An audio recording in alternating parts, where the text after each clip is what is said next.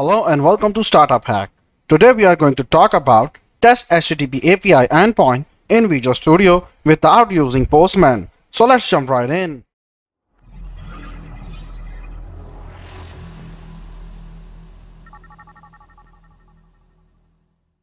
Make sure to check out the link down below because we always provide the code samples that you can pull down and follow along so you can see in our project.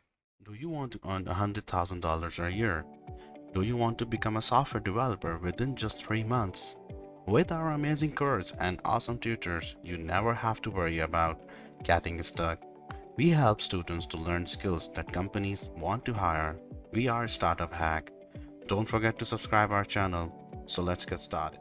Alright, step 1 create a new .NET Web API project. Step 2 inside the new project create one API controller and different endpoints which we are going to test using HTTP file. This is the products controller.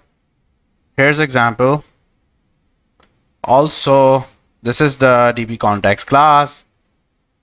This is seed data, which we are going to use for testing.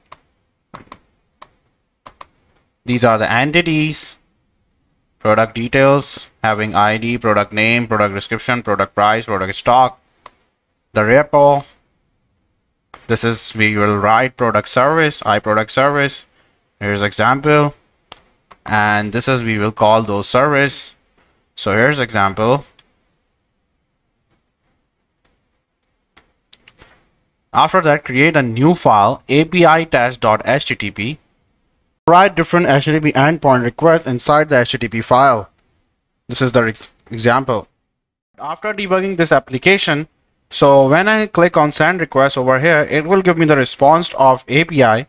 So this is how you can run the APIs without Postman using Visual Studio. Thank you for watching this video. I hope you learned the HTTP API test without using Postman from Visual Studio. So don't forget to subscribe our channel and hit the bell icon for latest updates. To joining our course, you can simply go to our website called startuphakk.com. Thank you.